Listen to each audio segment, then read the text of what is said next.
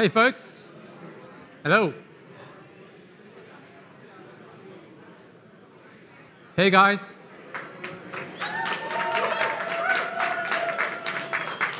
Friends, colleagues, good to see everyone in the Big Apple. I'm Greg. Gregory as well. And I'm passionate about helping founders build bubble centric startups. We're talking about design systems today, scalable design systems. That's a component.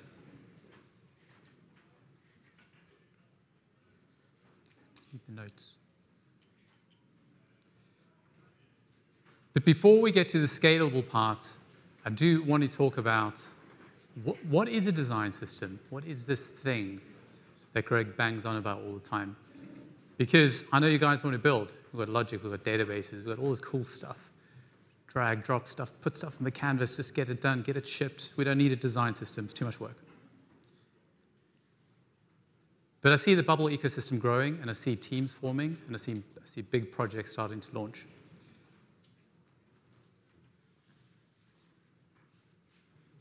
I've got no notes, so I'm freestyling here.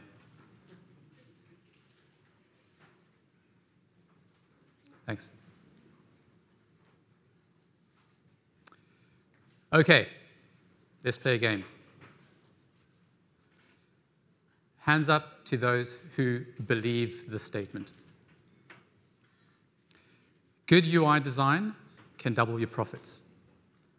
Who believes me? All right, okay. So 60, 70%?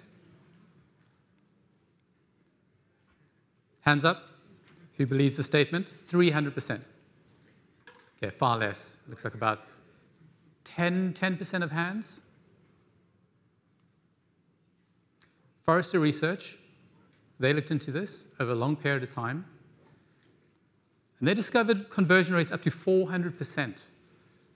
Good UX design, good design practices. McKinsey, correlation between good design and increased revenue across basically Fortune 500 companies.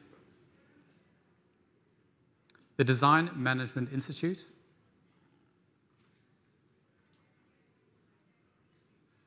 big companies like Apple, Coca-Cola, design-driven companies, they outperform the S&P 500 over a long period of time. And lastly, everyone loves talking about Airbnb, myself included, and they saw a substantial increase in user engagement and bookings via their redesign back in 2014. Sure, but what about, does this apply to everyone?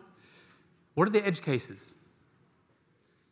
I couldn't find any research that said great UX design or UI design leads to less revenue. I really couldn't. But sometimes there are edge cases. This is BerkshireHathaway.com. Unless you are Warren Buffett, you probably do have to worry about, or not worry about, but place attention on design for your startup. This is how I would describe a design system with a focus on cohesive and systematic. Because no company no system, no team can scale without robust systems in place and without cohesion.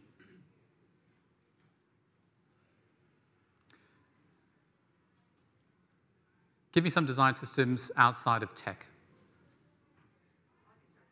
Architecture. What else? Shipping, logistics, music, fashion, manufacturing, urban planning. New York, what a great example of a design system. High throughput, people get where they need to get to as fast as possible. Great example. I'm sure their design system is well thought through and robust. Where I come from in rural England, there is no design system to the roads down there. You can't fit a shopping trolley down a two-way road. So where I come from does not scale, it's still a village. So they are absolutely everywhere, guys, design systems. And it's something that you need to think about. now that you're starting to work in teams, build out apps, work for clients, make some money, and scale this thing called no code. I hear this all the time. Greg, I'm not a designer, I'm not just naturally gifted.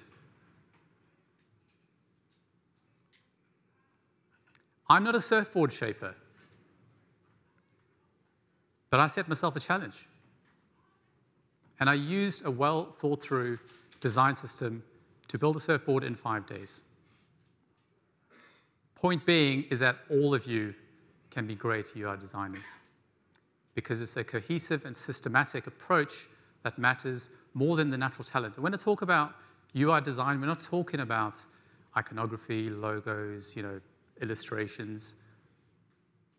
We're not talking about that. We're talking about interfaces, and that follows the system. Very quickly, the benefits improved collaboration. Okay? Who's come across this before? I have. Designer calls in sick, get the tech person to create the login form, follow the design system, or, follow the sorry, follow follow the system, but there is no design system in place. This is what you end up getting. Your apps will be far easier to maintain with all of your developers with a single source of truth for them to access. I coined this recently, well, about a week ago. I was thinking, what's a good way to sort of describe when you create an app, and I did this at the very start. Create an app, you don't set up a style, you have a primary color, because as soon as I create a new app, I'm just so excited about color, I just want that first.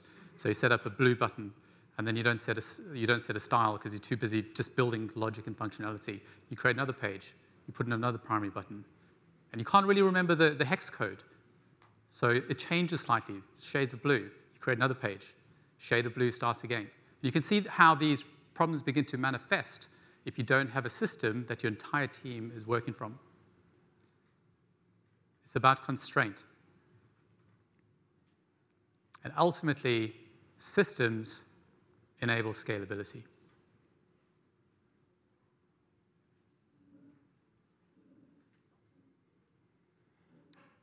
For your clients, if, you, if you're working in an agency, well, this obviously improves outcomes for them as well. For your clients' customers, it builds trust. There is a link between good design and trust, okay? Better end, end user experience, and this leads to increased revenue for your company and your clients. Now, these are some design systems if you wanted to just have a look at how they are constructed. We'll break this down a bit. So, where do we start? Now, design systems are more than UI kits. It's not untitled UI, okay? That forms part of a design system. It's not Bootstrap, it's not uh, some of these other frameworks that you've heard of. That is the, the big part, and I'm going to get to that because I know a lot of you guys to understand how to work with UI kits or build your own kits. But today we're going to talk about Bubble only. Okay, we're not going to talk about other tools. But there are principles and guidelines we need to think about that inform a design system. That's the place where you start.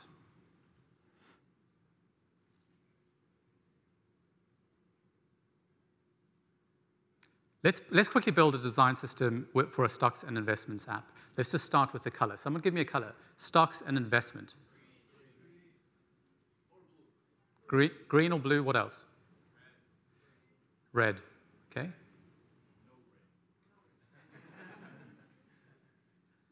Some of the things we need to think about with building design systems, and this is what I used to do having a client meeting. I'd say, what does it do? Who's it for? That's a question you should all be asking. What problem is it solving? What does it do? Who's it for? You need both of those. And these, these need to be in your design system. So stocks and investment app. We heard green, heard red, uh, and I heard blue. So if I said to you, build me this stock and investment app, I'm not going to tell you who the customer is. That's what you come up with. These are two of the most popular, for different demographics, stocks and investment trading apps. So you're on the money with green. That's great. But look at the other one. If we knew the customer, we would be able to start there and we'll be able to hypothesize from the very beginning what is the look and feel going to be. So we're talking about the customer, guys. Who's the customer? What does this thing do? Not straight into a UI kit.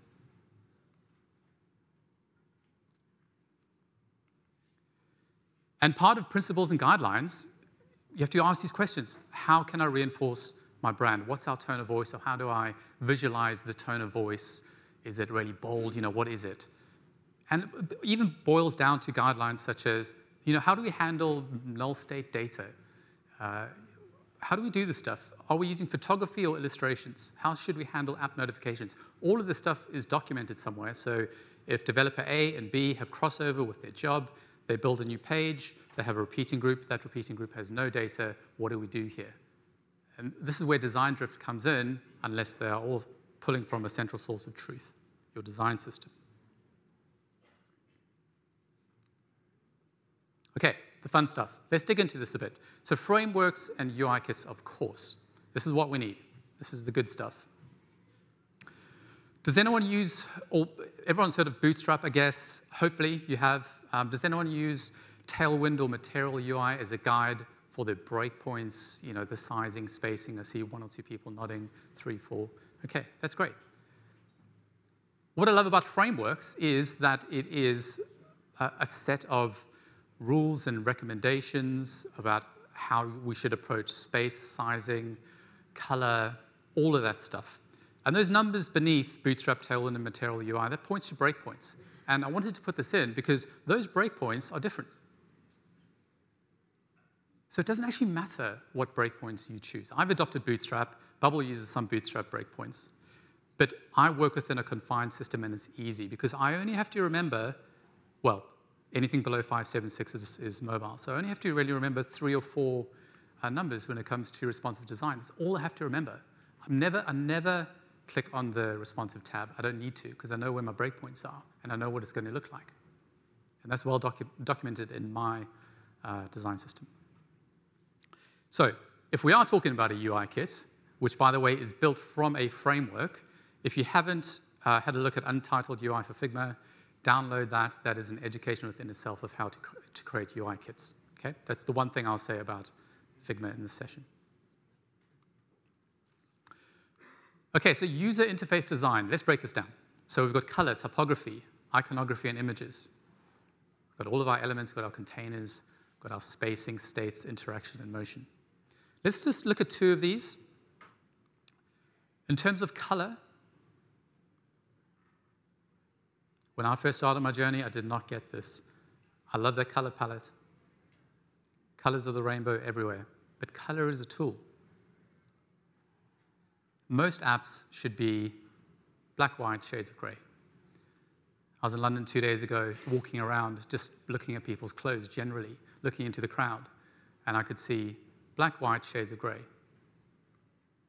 This is how we need to think about our apps. Be reserved when it comes to color. Of course, if you're building an app for designers, you know, you can get uh, more experimental.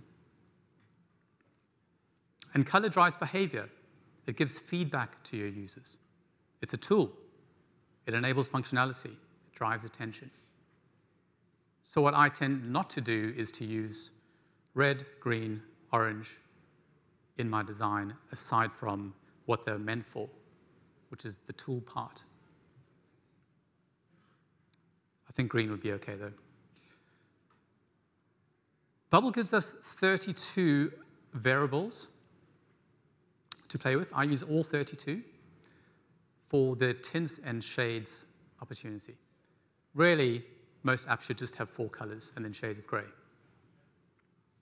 By the way, guys, the last slide will have a link to a free design guide for all attendees. So I'm not going to dive too much into the detail about how to create this because it'll be in that guide. And this particular color system would look like this in the swatch. So you've got your system colors at the top, then you've got your shades of gray beneath that, or neutral colors, and then you've got your primary, success, warning, and danger. Nice and neat in the color picker. And though that set of colors is what I use for all of my apps, I don't really feel a need to dig beyond that. This is where I start when I'm looking for my primary color. So take a picture if you need to. uicolors.app They provide all the color palettes you need, or you can put in your own hex code for a primary color, and it will generate uh, the shades and the tints. So what you shouldn't be doing is putting in your primary color, and then if you want a lighter color, change the opacity. You need solid colors. I hear someone laughing. I think they actually do that.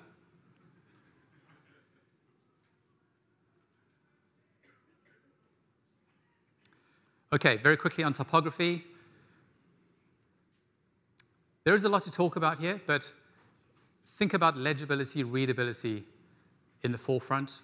Most tech companies I see use serif font like Inter. That's where I tend to start with Inter, and then I might play with a few other things, okay? Hierarchy is very important with typography. Not just about the size of the text, but color forms a part in hierarchy as well. Responsiveness with text. That's something to talk about and consider, as well as accessibility. Can we read this? Does it stand off the background correctly? And by the way, Google will penalize you if your text uh, isn't, doesn't render well, basically. So there's a, a certain standard when it comes to text and text color to make sure that it is readable and accessible. Generally, if we're talking about typography, your headings are going to be darker, bolder, and the letter spacing will be closer together, and the line spacing will be closer together as well. Easier to read, looks better. As soon as your text gets smaller, starts to cascade down, that text is going to be lighter because of hierarchy. It's less important. So it's not just the size of it, it's the color of the text starts to change to, for instance, a dark gray or a slate.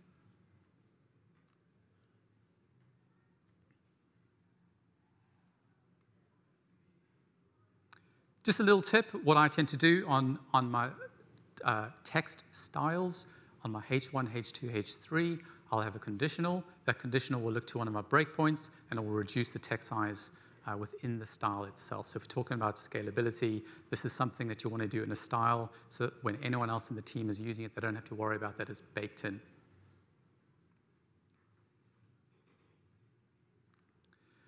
Four-point grid system, familiar? Does everyone know it? Does everyone use it? Can't hear you guys. Four point grid system. Who's heard of it? Yep. Good. All right. So you guys are starting to use the system. That's excellent.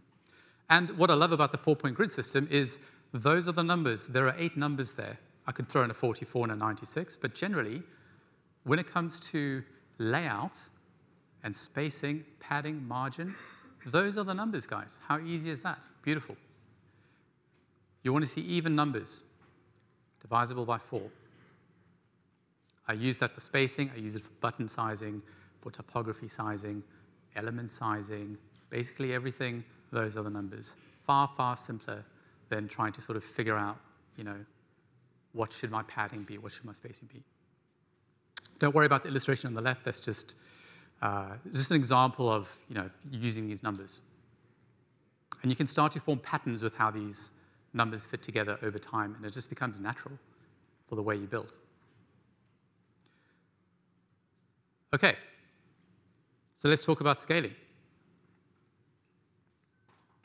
So how do we, how do we scale? We're working, and what, and, and what does scaling even mean? What are we scaling here? This is my interpretation. Maintaining consistency while accommodating growing needs.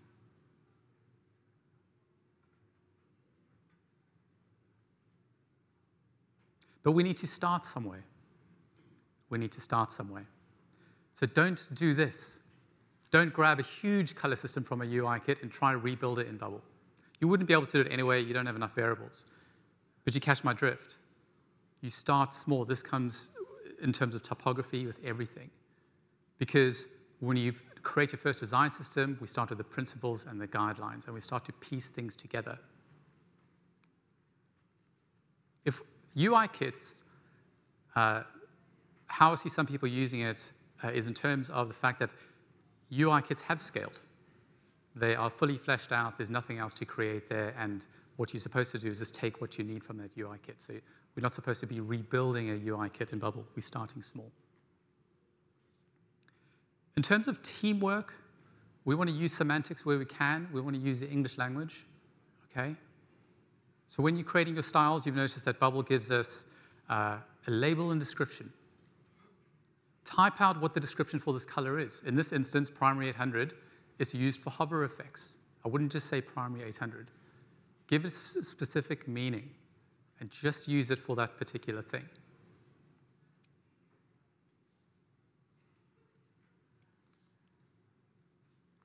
This is an interesting one. This is something I've, well, in the last sort of 12 months I've started doing. And whenever, I'm always intrigued to look at someone's editor, specifically how they have named their groups. So if you look uh, at the, um, the naming of the content on the left-hand side, we don't need to name every single group, container, element with a unique name. That's not how you scale. We need to think about naming conventions and patterns. We do need to, obviously, if anything is, is if a button or a container is attached to a workflow, it needs a unique name so we can find it uh, in, in, in the workflow area. But other than that, I use patterns. I'll have group hero section. Within the group hero section is just a content group, group content. That's it. Beneath that would be group title and subtitle. I'll have my group buttons. Keep it simple, keep it simple, and find a reusable pattern that you can use. You don't need to uh, name it uniquely because it's there, you can click on it. And when you get to understand the pattern, you'll quickly be able to understand how things are nested and where they are. So your group hero section, and then your group content within that. You go down to the next part group FAQ, go down to the next part, group, group blog section. It doesn't have to be uniquely named. And think about patterns in terms of how you actually drop components on the page. In this illustration, I have a little badge at the top. Then I have my title, then I have my subtitle, then I have my buttons. And, and repeat these patterns throughout your app. Customers will become used to them and it'll actually speed up their interaction with what you're building. So when it gets to my sections, I'll always have a little badge at the top, then I'll have a title, then I'll have a subtitle. It becomes familiar for the end user. So this is huge. I'm not sure if you guys realized, I'm sure most of you have because we've got uh, you know, power users in the house, but reusables now have properties and a detach feature. Has anyone used a detach feature here? All right, so some hands, 20%. The detach feature is huge because it means we can create our own component libraries. We can literally create all of our components as reusable elements. Anyone in the team can grab it, drop it on the canvas, and detach it and do what they like with it.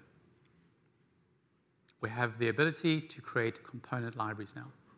And obviously with properties, it's just mega powerful with uh, being able to feed different data sources and attach different data sources to reusables.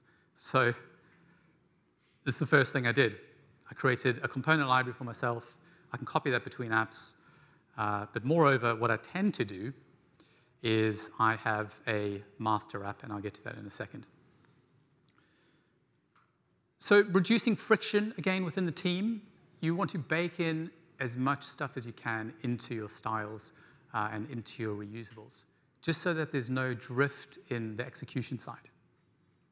So try reduce the need for conditions on the page, elements on the page, put them into the, your styles. So I have styles for all of my containers, all of my groups. All of my groups start with 32 pix, pixel padding left, right. At the mobile breakpoint, all of those containers drop down to 16 and 16. All baked into the styles, it means that I don't have to then jump into the page and set up my conditions for uh, responsive because it's done already. Also means I don't even have to look at the responsive tab, as I mentioned earlier.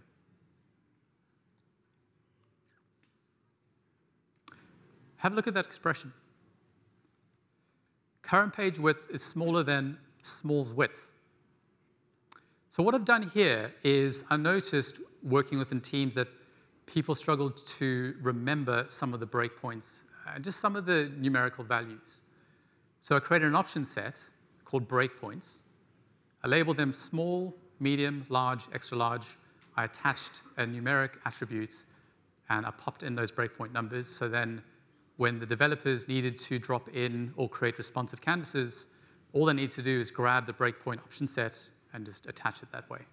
So because at times I'd say, in the beginning, I'd say it's a 576 breakpoint, but I started noticing 567. It's a 992 breakpoint, and it'll come back 929.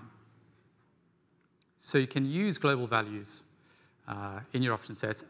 Now, Bubble is working on a new feature for breakpoints that's going to be incredible when it launches. So uh, that's going to be a redundant slide soon. And this is the big one. All right, don't have time to create design systems, too busy. Guys, we need to slow down to speed up. So create your master app. That's going to take a bit of time. Get all of your styles done. Create your design system. And then just clone that app when you start new projects, and it's done. It will take a bit of time, but once it's done, it's done. Whenever you start new client projects, you can then just adapt from there. Everything's baked in. This is saving such a huge amount of time if you think about it. If you create your own component library in a master app and then duplicate that app, you can just grab a component, drop it on the page, detach, or change the properties. Good to go.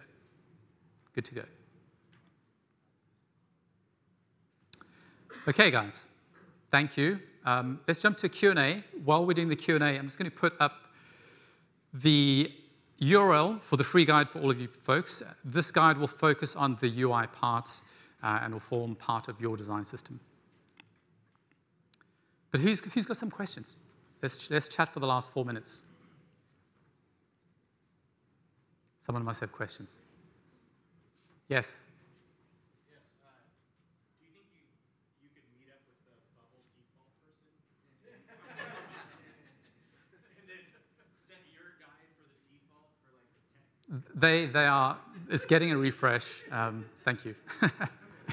Anyone, any other questions? Who uses, okay, who, who uses um, Figma? Who uses Figma for their design system?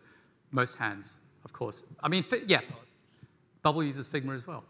Okay, um, and I think it's a great sort of central repository for this kind of stuff for design systems. Um, and obviously, as you scale to a bigger team, it does become very useful. Question? Yes. Yeah. Uh, so first off, I like seeing your tutorials for like last few months, so it's really cool seeing you up here. Thank you. Very helpful. Actually, I just actually used one of your videos like a few days ago, so it's pretty cool. Um, so when it comes to design and, and systems, I think there's a balance between using what you know, right, using what exists in the world, and also going and exploring and finding something. What is your, I guess, system that you have when it comes to learning new design and when to, I guess, adopt something versus keeping what you currently have? Yeah, great question. And what, what I was trying to, the point I was trying to get to uh, quite early on is that um, UI design is quite repetitive. But this is a good thing. This is a good thing. Yes, we want our apps to stand out, but they've got to be usable, and we don't really want to uh, reinvent the wheel, okay? We've got a header section, brand on the left, links in the center, buttons on the right, sign up, login. So I don't tend to sort of drift too much, um, but I do, some apps might be, I might experiment a little bit with some motion uh, you know, as it scrolls into the page, that kind of thing. I tend to definitely work within quite a time, uh, tight uh, frame set for that.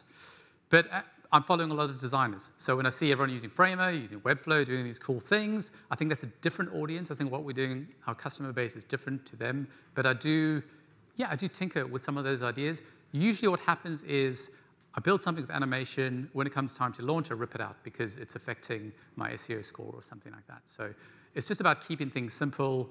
Um, yeah, you know, your clients are probably varied. In your contract, it'll probably stipulate that you kind of you won't be building for two clients with the same idea. So naturally, it's okay for those apps to kind of look and function in a, in a similar way. Okay, uh, there's time for one more question. Hey, Greg. How's it going? This is AV. Hey, I learned Bubble actually from your video Ah. four years ago, so thank you for that. my pleasure. Uh, question Have you ever come across where you're importing a color from Figma it does not match exactly with Bubble? And Ooh, why is that? Yes. Why is that? Um, code base most probably uh, would be my answer. But the question was, how come in Figma colors might look slightly different to colors in Bubble? I'm not a bubble engineer, so I'm going to have to go find out. And actually, I'm, I will ask that question.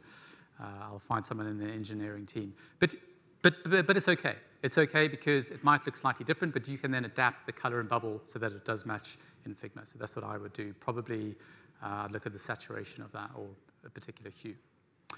All right, folks, that's it. Hope you enjoyed it. You're going to get the design guide on that link. You can sign up right now. Thank you.